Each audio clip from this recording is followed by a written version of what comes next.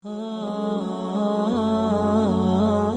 kali suaminya pulang dalam keadaan lapar, capek, lelah. Begitu pulang istrinya masih dalam keadaan masak. Ma, tolong buatkan untuk pengganjal dulu. Maka istrinya langsung ke dapur buatkan mie. Tanpa sadar garam yang untuk sayur itu ketuangkan ke mie. Garam satu sendok begini dituangkan ke mie. Maka lahirlah kalimat-kalimat yang manis di lisannya. Ini nyata. Ma, ya pak, sini sayang. Kata suaminya, lama rasanya kita tidak makan berdua. Sini papa suapin. Begitu disuapi, sadar istrinya ada yang salah, di sini terjadi rahmat Allah Subhanahu wa taala.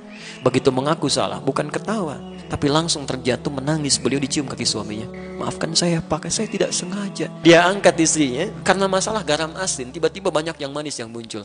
Laparnya hilang, cintanya bersemi, masak bersama di dapur.